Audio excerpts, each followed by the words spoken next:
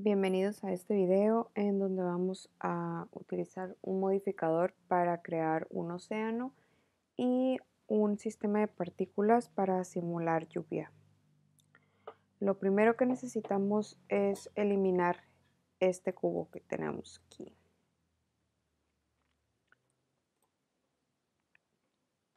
Y vamos a insertar un plano. Este plano lo voy a escalar, lo voy a hacer de 10 metros y lo voy a duplicar. ¿sí? Me voy a ir a la vista 1 y le doy Shift D, lo subo en Z. ¿Para qué necesito estos dos planos? Pues el plano de abajo va a ser el mar y el plano de arriba va a ser quien emita la lluvia. De aquí va a salir la lluvia. Entonces, primero vamos a trabajar con el plano de arriba. La lluvia la vamos a crear a través de un sistema de partículas. Para esto nos vamos a ir a esta pestaña que dice que son las propiedades de las partículas. Le damos clic en más y nos dice si abrimos este panel un poquito que estas son la configuración del sistema de partículas. Le podemos cambiar el nombre, le voy a poner lluvia y nos da aquí dos opciones. Esta nos indica que el plano va a emitir partículas. Si levanto esto para ver mi panel de línea del tiempo, podemos ver que ya las emite. Entonces, bueno, esas partículas nos pueden simular nieve, nos pueden simular lluvia o tal vez chispas, mientras que si yo selecciono hair, nos sale esto. ¿Y para qué nos sirve? Pues puede ser para cabello, puede ser para pasto, para las cerdas de un cepillo. Pero nosotros vamos a usar este, el anterior. Sí, porque queremos que salgan las partículas y crear la lluvia a través de ellas. Aquí en number es el número de partículas que emite el plano. Entonces aquí le voy a bajar un poco porque si no tendría todas estas gotas de lluvia. Le voy a poner 800. O este número ustedes lo pueden ajustar a la cantidad de lluvia que quieren que haya. Lo voy a dejar así y me voy a ir a donde dice render y aquí nos dice render as path necesitamos que diga render as object para yo crear un objeto y que ese objeto sea el que controle la forma de las partículas. Para eso voy a crear una esfera. Voy a seleccionar, aquí está, y la voy a poner acá. Si quisiera que mis gotas de lluvia fueran, por ejemplo, más largas, que no fueran así redondas, sino a lo mejor queremos que sean así, no más ovaladas, pues podemos poner esa figura. Y ahora si yo me muevo, en, ah, es que no lo he unido, ok. Aquí en Instance Object está la lupa y vamos a seleccionar esta. ¿sí? Y aquí pues ya tengo mis gotitas. Si me acerco, pues ya son esa, esa figura. Podríamos hacer una figura más como de una gota, si ustedes gustan. Y el tamaño lo controlo aquí. Si yo le pongo 1, pues me salen del tamaño original. Si, si yo le pongo em, pues otro número, me salen más pequeñas. Ahorita las tengo así en 0.05. Creo que aún están muy grandotas. Le voy a poner 3 para que me queden gotas de lluvia más chiquitas. Y esto lo voy a dejar ahorita así. Ahora me voy a cambiar a la pestaña que dice Physics. Y aquí voy a darle la propiedad física a estas partículas de que al golpear eh, otro objeto puedan crear las ondas, ¿sí? Para que cuando toquen el plano de abajo se creen las ondas como si cayeran en agua. Para esto voy a seleccionar Dynamic Paint y aquí tenemos dos opciones, tenemos Canvas y tenemos Brush. Canvas es el que recibiría, pues en este caso sería la pintura, ¿no? El que recibiría la, mm, en la pintura, pero para nuestro ejercicio sería el que recibiría las ondas. Y brush, pues es el que pinta, ¿no? El plano va a ser brush, porque las partículas son las que pintan. Le damos add brush, esto lo voy a dejar así. En donde dice source en paint, en lugar de mesh, voy a cambiarlo por sistema de partículas, porque queremos que el sistema de partículas sea el que pinte y aquí tenemos que seleccionar nuestro sistema de partículas que se llama lluvia. Si tuviéramos varios, pues ahí nada más seleccionamos el que, el que tiene el nombre que nosotros le, pusimos ¿no? para esta lluvia. Em, después de eso, vamos a trabajar con el plano del mar.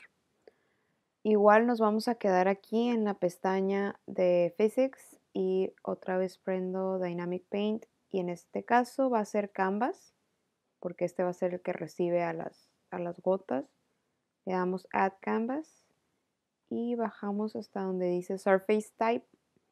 Aquí está activado Paint, esto querría decir que las gotas pintarían aquí con un color. Tengo otras opciones como Waves, que es la que vamos a usar ahorita, o tenemos Displays, que nos serviría si queremos que se vayan amontonando las gotitas, ¿no? Como si fuera nieve, se fuera aquí amontonando hacia encima. Entonces le dejo ahí Waves y ahí ya quedó. Pero si hacemos esto, vemos que no pasa nada en mi plano. ¿Por qué no pasa nada? porque mi plano no tiene suficientes vértices para que pueda ver esa deformación. Entonces tendría que entrar a Edit Mode en el plano, doy ah, clic en W y selecciono subdividir. Aquí en subdividir le voy a poner el número de cortes que quiero. Necesito muchos cortes porque se requieren muchos vértices para poder hacer el efecto de las ondas. Le voy a hacer 80 cortes Sí, me va a hacer algo así. Me regreso a Object Mode y si me muevo aquí, ya se ven las ondas. Voy a ponerle Shade Smooth para que no se vean las caras. Y pues ahí ya quedaría eh, el efecto del agua cayendo, de lluvia cayendo sobre agua. Pero bueno, esto todavía no es un mar. Esto ya nos podría servir si queremos que las gotas provoquen este tipo de ondas en agua que está estancada. ¿Sí? Pero no tenemos olas, Ahora nos vamos a ir a la pestaña de modificadores. Si seleccionamos el plano de arriba vemos que hay dos modificadores, pero que nos dicen que la configuración de estos modificadores se realiza en cada una de sus pestañas. ¿sí? O sea, del sistema de partículas en las propiedades de las partículas y del Dynamic Paint en la pestaña de Physics. Entonces, bueno, eso sí, así debe quedar. Ahora sí selecciono el plano, igual tenemos Dynamic Paint y vamos a agregar el segundo modificador que es Ocean, está aquí en, en la columna Physics. y nos crea un plano así gigante. Si aquí muevo, me muevo a través de la línea del tiempo, ya no crea ningún efecto. Pero eso es porque tengo mal aquí. En Geometry tengo que seleccionar Displays. Me vuelve a regresar mi plano así pequeñito. Y ahora sí, ya se hace este efecto. Ok, cuando ya tengo displays, esta es la resolución de las olas. Este, este tiempo me va a servir para cuando haga la animación en la línea del tiempo. Esta es la profundidad del océano y aquí vamos a modificar esta parte que es la que nos va a dejar ver las olas. Lo voy a hacer, no, no tan pequeño.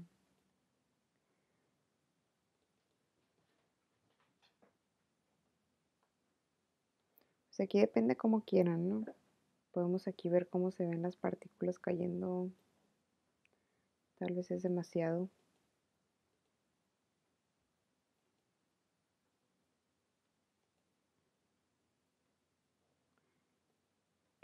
ahí está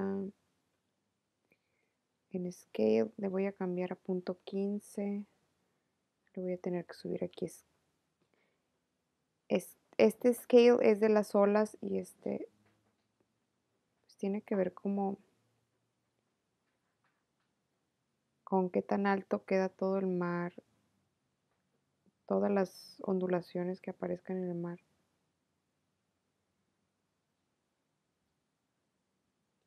Le voy a poner 0.06 y ahí está. Esta parte de choppiness es que tan picado queremos que esté el mar. Sí, lo voy a dejar como estaba. Si queremos hacerlo menos picado. Pero estaba en 1. Esta es la velocidad del viento y la alineación de las olas.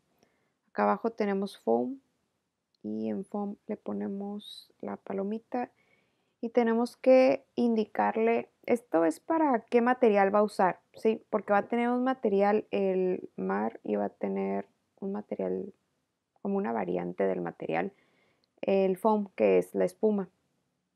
Entonces le voy a poner igual foam. Esto todavía no lo he creado, lo voy a crear en los materiales, pero voy a dejar así ya prendido. Y en spray voy a poner igual spray.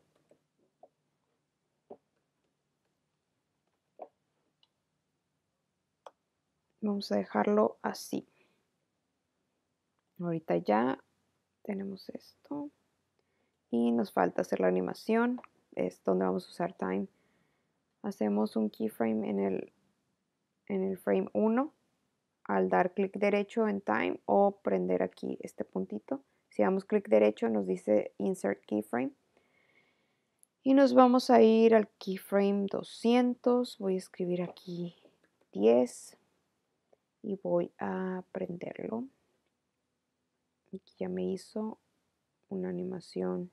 Si quieren que la animación sea más rápida, pues este keyframe tendría que estar más hacia acá.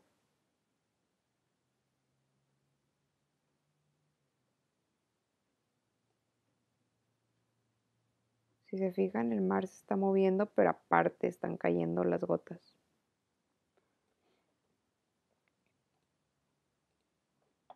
Entonces dejamos esto así y nos vamos a ir a trabajar los materiales. Los materiales los trabajaremos en la pestaña de Shading acá arriba y van a ser los materiales para el plano. Vamos a trabajarlo con los nodos. No necesitamos que esto se mire. Voy a hacer más grande aquí porque vamos a necesitar bastantes nodos. Y vamos a agregarle un material. Tiene el material nuevo, está bien, es Principled y vamos a escoger un color azul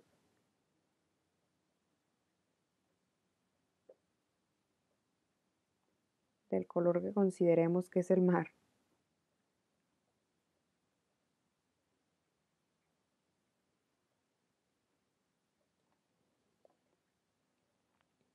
Vamos a prender transmission. Bueno, lo podemos prender acá. Transmission le voy a poner en 1. Sí, ya es un material que es transparente, que es como estilo vidrio. Si se fijan, pues cambiaron los brillos. Aquí igual le puedo bajar roughness si queremos que brille más el agua. Pero no queremos que brille tanto, ¿no? Solo puede ser un poquito más.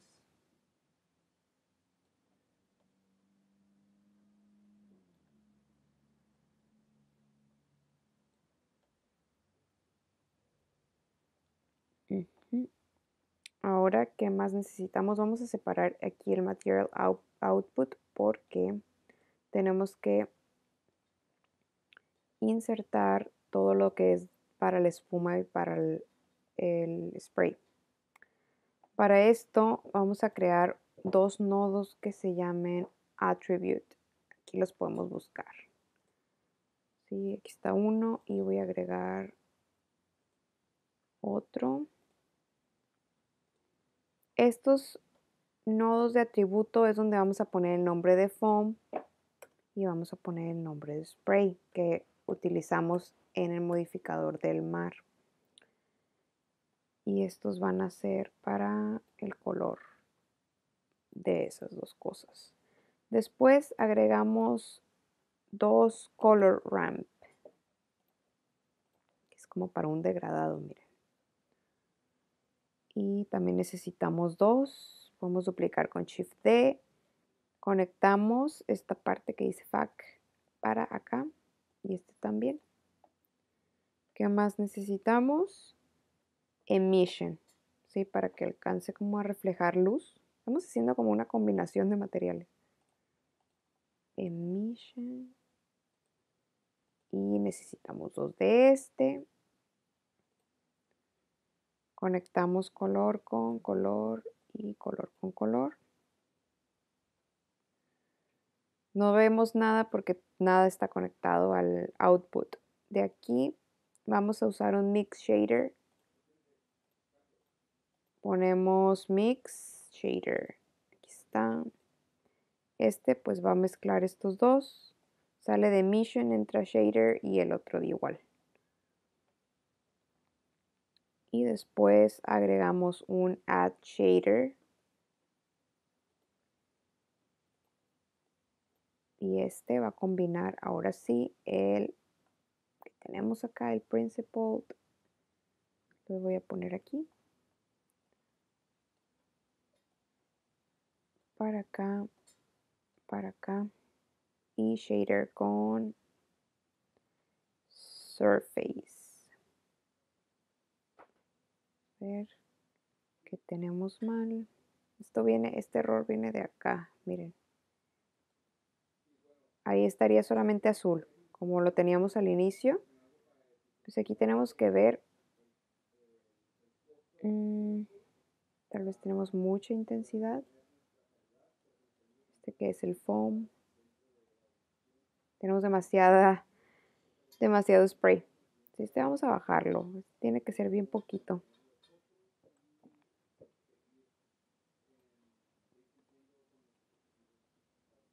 creo que menos 0.05 y aquí miren voy a desconectar un poco este para que vean nada más el del foam ese es el foam esa es la espuma. Pues sí deberíamos tener más o menos unas, una buena cantidad de espuma porque pues, está lloviendo ¿no? y este pues es el, el spray sale como en esos cuadritos. Le podemos dejar un número bien bajito. Le voy a poner punto .01 y ya nuestro mar no es solamente no es azul sólido aquí podemos también si queremos que uno de los dos sea mayor, o sea, el foam o el spray, podemos mover ¿no? como queremos que se vea con más blanco, con más cuadritos. Lo voy a dejar a la mitad, punto 5. Entonces me voy a regresar a layout y voy a verlo en render.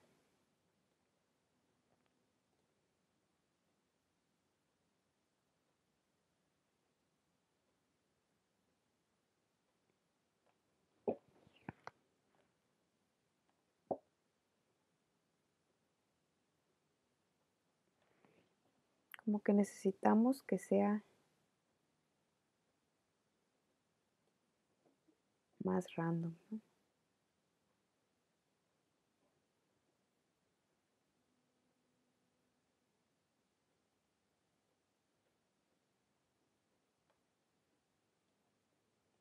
Voy a aumentar la resolución a 15.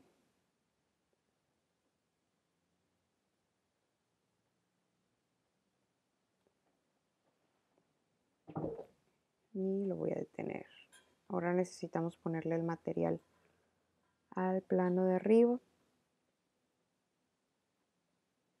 Igual podemos usar algún color azul podría ser. A ver cómo se ve.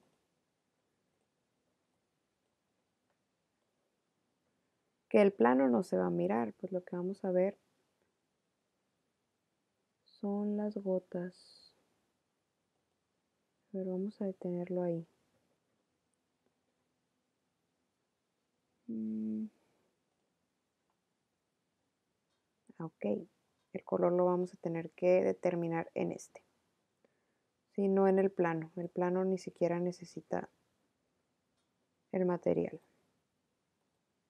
Se lo quitamos, lo vamos a poner aquí. Igual podemos ponerle un azul o si queremos algo como más gris. Y le ponemos transmission.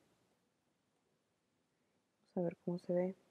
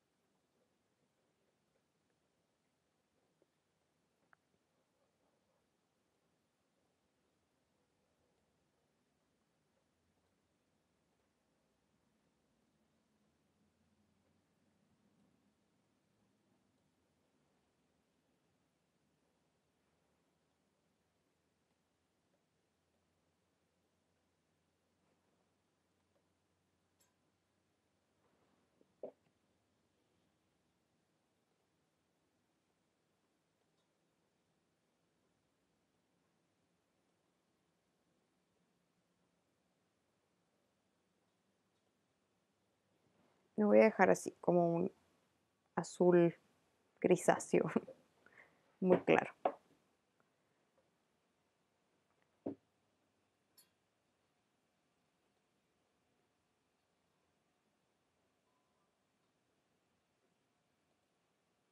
Y voy a agregar un,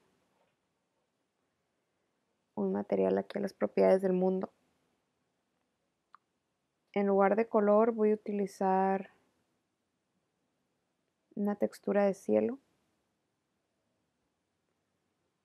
Aquí en la textura de cielo, si vamos a trabajar con Eevee, pues nos podemos quedar, porque no funciona Nishita, podemos quedarnos con este y hacer el render desde algo así.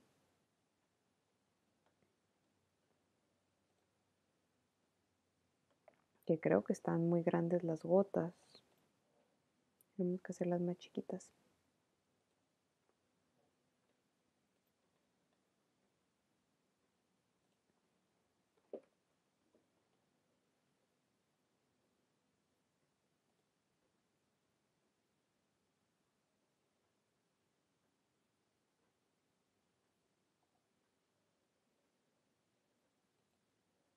Le voy a quitar que no tenga que no se no tenga tanto choppiness. Mm. no que no tenga tanta altura.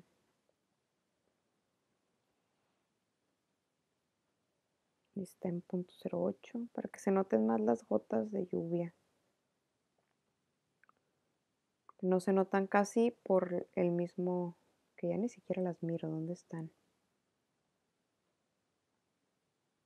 Quedaron demasiado chiquitas.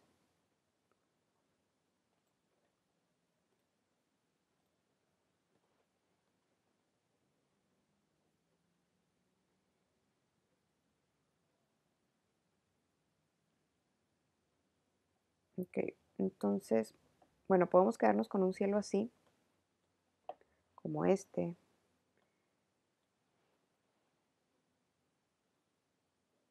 Intentar acomodar la cámara aquí. Y buscaré que me quede un encuadre algo como esto, donde no se vea los bordes del, del plano que estoy usando como el mar. Y bueno, voy a ver desde dónde hasta dónde voy a hacer la animación. Teníamos hasta el 200. El cielo lo puedo hacer más nublado si aquí subo este, este valor donde dice turbidity. Puedo dejarlo en 7 y ya me da un cielo nublado. Y ahora me regreso. Voy a ver cómo se ve la lluvia. Pienso que está muy azules las gotas. Las voy a cambiar de color. Las voy a hacer blancas. Así, totalmente blancas.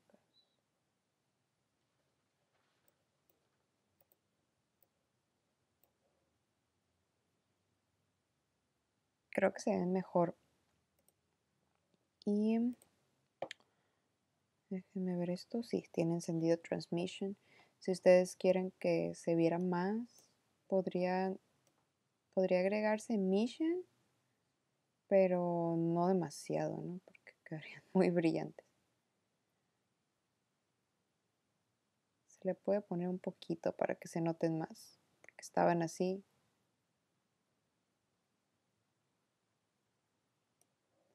algo así. Y luego aquí nos está apareciendo otro problema. A ver. Al inicio de la animación no se miran las gotas.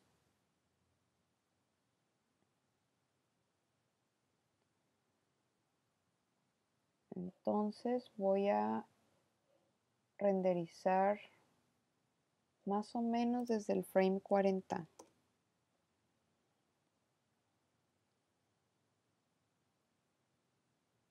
para que durante toda la animación esté cayendo la lluvia.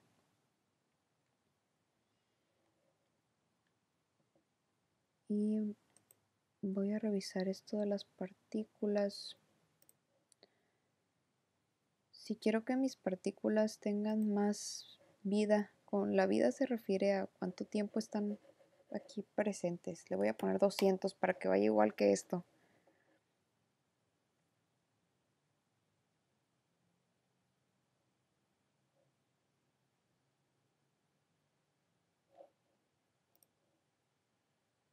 Creo que ya se ven más constantes. Igual podría aumentar la cantidad de lluvia. No, la disminuí.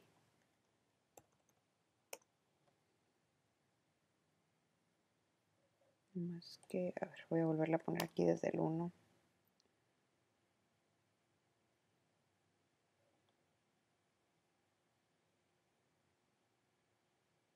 Ok, ahora sí, desde el 40.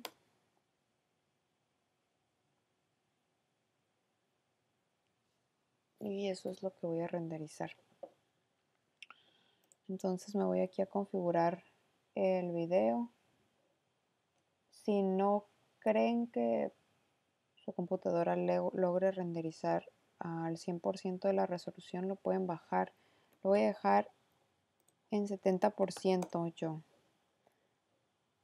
Revisamos aquí está del 40 al 200 y bueno hay que seleccionar la ubicación de salida de nuestro video, seleccionar el formato en AVI JPG y eso sería todo lo que tenemos que configurar. Nos vamos a render y render animation, pero voy a irme para acá.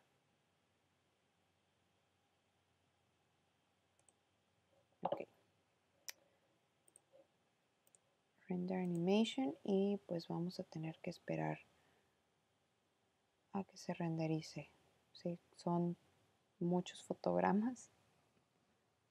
Vamos a tener que esperar. El resultado del render sería algo como esto.